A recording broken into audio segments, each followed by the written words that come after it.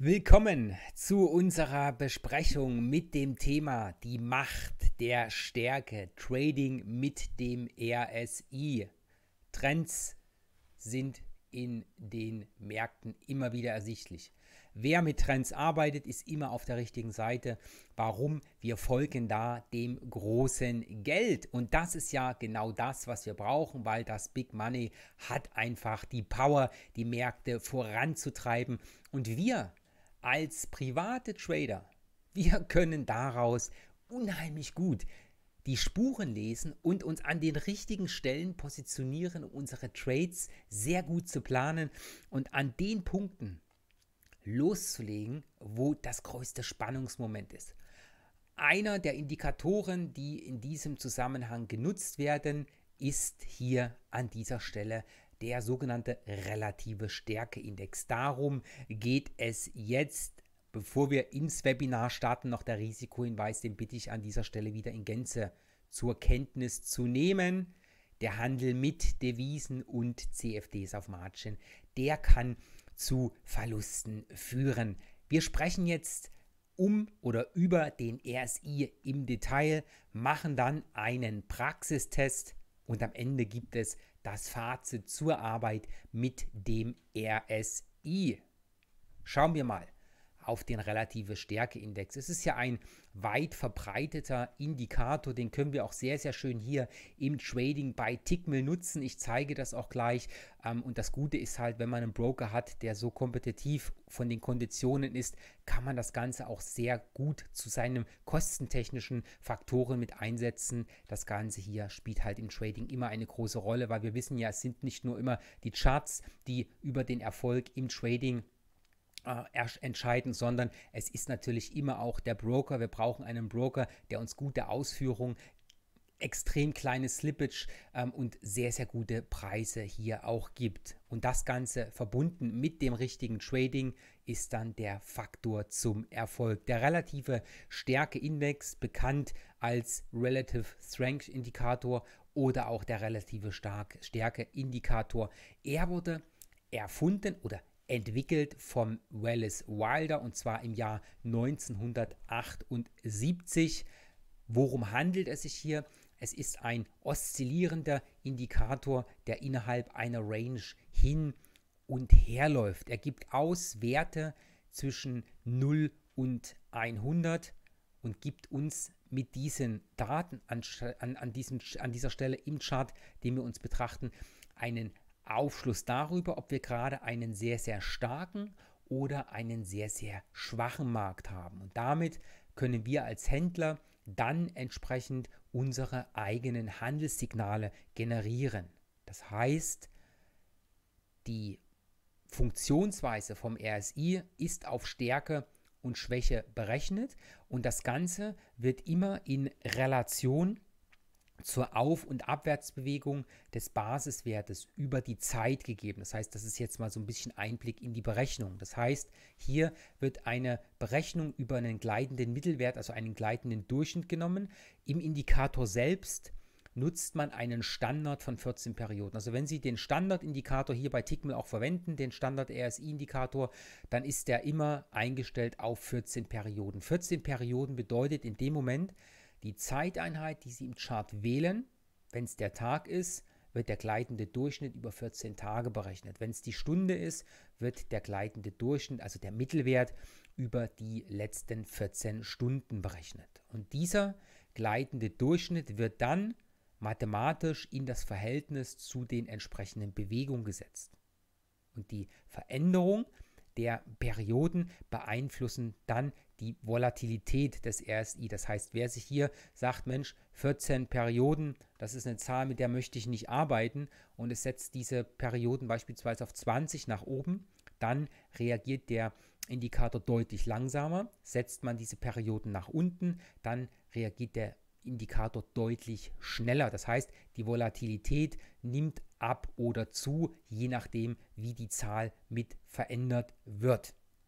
Kommen wir nun dazu, einmal zu sagen, was lesen wir denn überhaupt? Es gibt im Indikator, im Standard auch zwei wichtige Marken. Das ist die Marke von 70 und die Marke von 30. Im Allgemeinen spricht man hier davon, dass ein Wert von über 70 bedeutet, dass der Markt überkauft ist und ein Wert von unter 30, dass der Markt überverkauft ist. Das ist mal so die allgemeine Lesweise. In der Praxis arbeitet der ein oder andere Trader hier auch mit adaptierten Zahlen. Das heißt, wenn wir sehr, sehr starke Bullenmärkte haben, dann wird häufig der Wert von 70 etwas nach oben gesetzt auf 80 und wenn wir sehr, sehr starke Bärenmarke haben, dann wird diese Marke von 30 häufig auf 20 nach unten gesetzt, weil wenn alles schwach ist, will man wirklich die besonders schwachen haben. Deswegen setzt man den Wert nach unten. Wenn alles stark läuft, dann möchte man die besonders starken Werte herausfiltern und deswegen setzt man diesen Wert etwas nach oben. Das ist dann aber immer von den individuellen Wünschen und auch der Markterfahrung abhängig. Die allgemeine Annahme, wie schon gesagt, in diesem Bereich mit der Oszillation sagt uns hier, dass die Werte aus den Extrembereichen in der Regel irgendwann immer wieder zurück in den Mittelwert fallen. Und das ist dann der Vorteil, den man sich in der Zusammenarbeit an dieser Stelle wieder heraussuchen kann. Das heißt, hier können Handelssignale generiert werden. In der allgemeinen Praxis heißt das, wenn der Markt überverkauft ist, also unter 30, dann sucht man eher die Long-Richtung in der Annahme, dass sich der Markt wieder in Richtung des Median bewegt. Auf der anderen Seite, wenn wir in der überkauften Situation sind, das heißt Werte deutlich über 70 haben, dann geht man eher short in der Annahme, dass der Markt wieder auf das Median fallen wird. Wichtig an dieser Stelle ist es immer, dass wir als Händler nicht blind traden, sondern hier die allgemeine Marktrichtung beachten. Das heißt, immer auch schauen, haben wir einen Bullenmarkt oder einen Bärenmarkt vor uns und auch immer das individuelle Verhalten des Marktes mit einbeziehen. Es gibt immer Gründe, warum ein Markt stark oder schwach ist. Und wenn es Gründe dafür gibt, muss man diese Gründe mit beachten. Ein kleiner Ausflug in die Praxis werden wir dann auch sehen. Nur weil ein Markt beispielsweise gerade im überkauften Bereich ist, heißt das nicht, dass er bald fallen wird. Wenn wir wirtschaftliche Gründe haben, dass dieser Markt stark ist und auch stark bleibt, dann sehen wir auch sehr, sehr oft, dass wir den Chart weiter am Steigen haben, ohne irgendwie einen Zucker zu machen, dass hier ein überverkaufter Bereich im RSI ist. Das muss man immer auch mit auf der Uhr haben. Das Ganze mal hier im Bild. So sieht so ein Chart dann aus. Und jetzt gehen wir mal in die Praxis rüber. Das heißt, wir öffnen jetzt einfach mal das Trading Tool hier bei Tickmill und können dann entsprechend einfach mal in die Charts hineinschauen. Übrigens, das ist hier das Trading Tool im MetaTrader 4 mit dem Add-on zum Stereo Trader. Den gibt es hier bei uns bei Tickmill uh, for free, wenn Sie Ihr Konto ausreichend kapitalisieren und dann können Sie die starken Vorteile vom Stereo Trader nutzen. Wen das interessiert, ich zeige es mal eben ganz kurz. Ähm, Sie sehen das auf unserer Homepage hier. Ich hole Sie mal ganz kurz runter. Äh, sehen Sie hier dann relativ einfach den Zugang dazu. Das heißt, gehen Sie auf die Website von Tickmill und dann hier haben wir es unter den Werkzeugen im Stereo Trader und da sehen Sie alle Informationen dazu, wie Sie das bekommen können und ähm, wie Sie den Zugang haben und hier erhalten Sie die Lizenz äh, für den Stereo Trader. Also alle Informationen gibt es dazu. So können Sie den dann hier im MetaTrader auch mit nutzen und die Performance-Unterstützung absolut zu ihrem Vorteil bringen. So, jetzt gehen wir mal hier rein in einen Chart.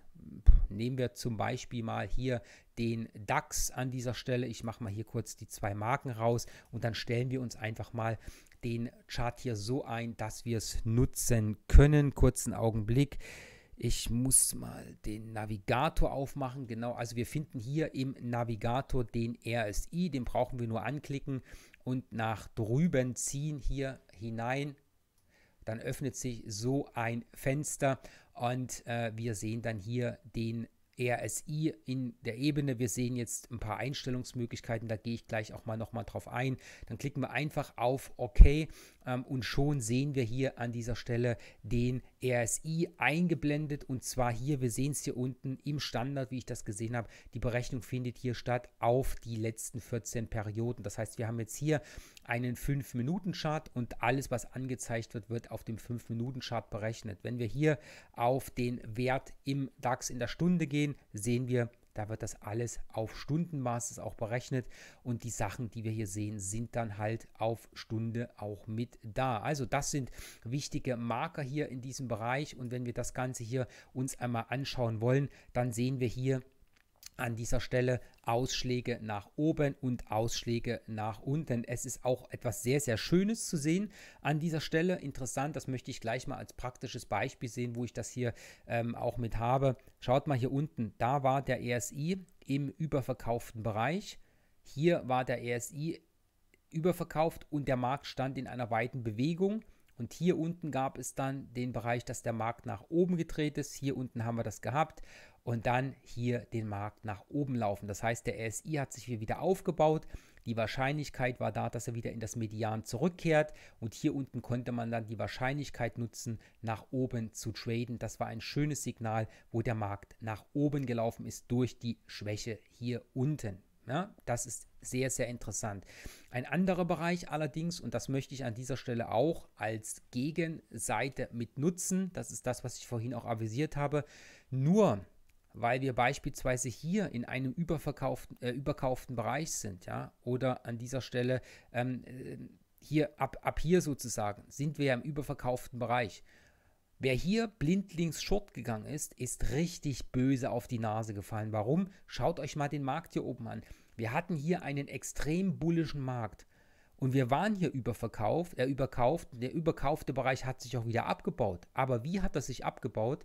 Innerhalb von steigenden Kursen. Das heißt, an dieser Stelle hat die Zusammenarbeit mit dem RSI, wenn man nur den RSI-Indikator als Ratgeber nutzt, auch sehr, sehr schwierige Phasen. Nämlich immer dann, wenn man hier diesen überkauften Bereich hat, das geht unten, unten auf der Unterseite ganz genauso. Nur weil der Markt überverkauft ist, heißt das nicht, dass er jetzt anfängt zu steigen. Das muss man immer sehen. Und wenn man wirklich so starken Auftrieb hat wie hier, dann geht man nicht blindlings short, nur weil der Markt hier im, über, im überkauften Bereich ist. Das macht man erst dann, wenn man umdreht. Das heißt, gute Situationen, die sich beispielsweise anbieten, äh, um das Ganze auch zu machen, wären dann wirklich Situationen, dass man hier einen vorherrschenden Abwärtstrend hat, der weit in seiner Bewegung steht. Dann hat man häufig die Chance, in Zusammenordnung mit diesen zwei Bildern, dass der Markt doch auch ein Stück weit mit nach oben läuft. Das ist eine Möglichkeit, das Ganze hier auch gut und gerne zu machen. Und wie schon gesagt, das ist abhängig hier, wenn wir uns das Ganze mal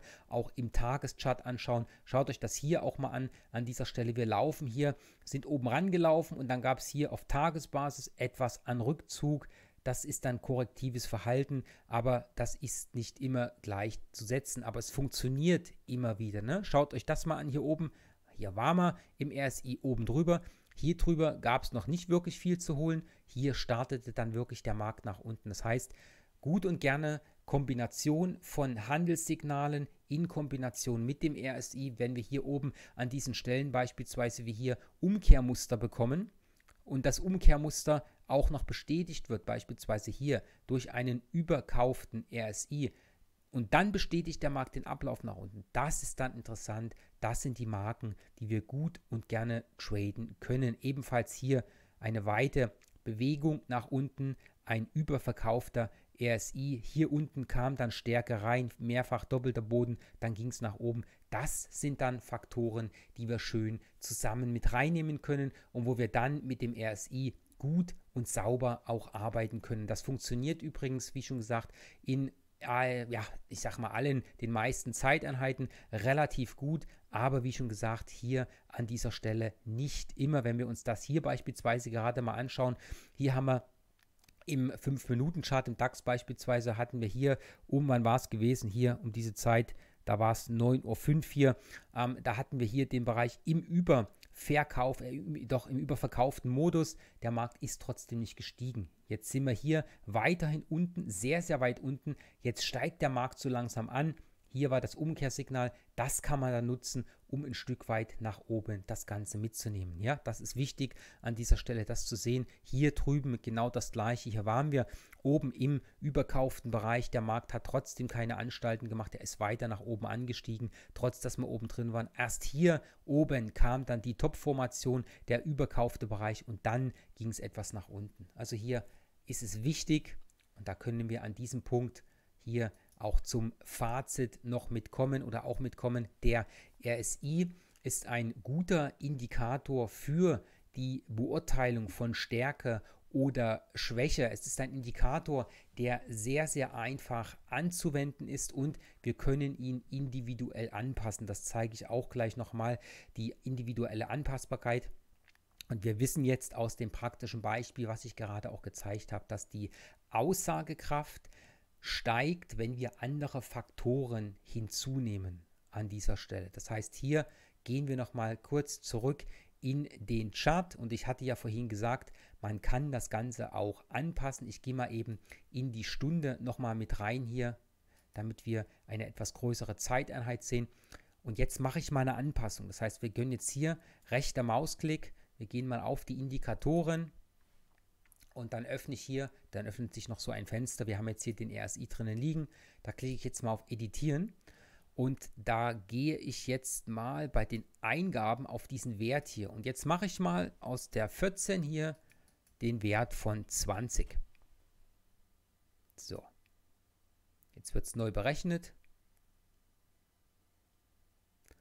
Und jetzt sehen wir, dass der Indikator hier anders ausschaut, als wir das gerade der Fall gehabt haben. Ne? Das heißt, hier läuft das Ganze in ruhigeren Bahnen. Es gibt wesentlich weniger Ausschläge nach oben oder nach unten. Das heißt, mit dem größeren gleitenden Durchschnitt hat man natürlich einen viel, viel ruhigeren Lauf.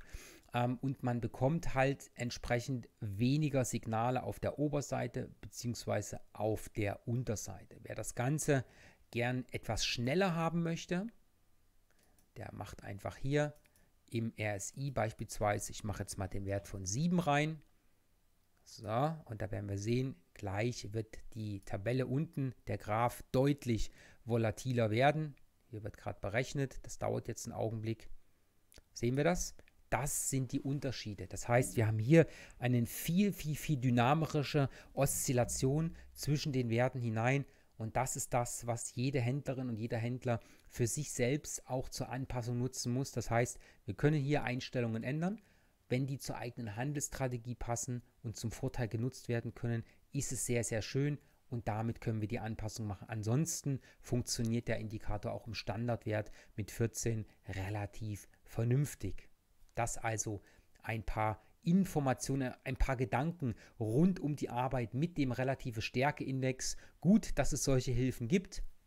Und gut, dass wir Trader das zum Vorteil mit nutzen können. Danke für Ihre Zeit hier im Webinar mit dem RSI. Möge die Stärke sozusagen mit uns sein in Zukunft für alle erfolgreiche Trades. Und meine Einladung jeden Morgen hier auf Tickmill Börsentäglich gibt es den Morning Briefing mit tollen Handelsideen. Kommen Sie da rein, einfach der Seite auf Facebook von Tickmill Deutsch ein Like geben und schon verpassen Sie nichts. Das kostet keinen Cent, aber die Informationen bringen Ihnen richtig gutes Geld, wenn Sie es gut anstellen. An dieser Stelle danke und bis zum nächsten Mal.